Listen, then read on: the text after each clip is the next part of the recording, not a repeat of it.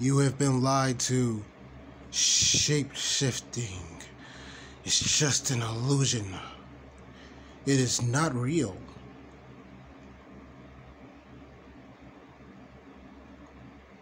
It's just your mind fucking with you. It's all in your head. It's not real. There's no such thing as reptilian demons.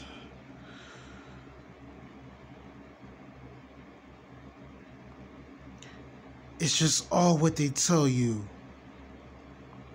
Because they don't want you to be rich and famous.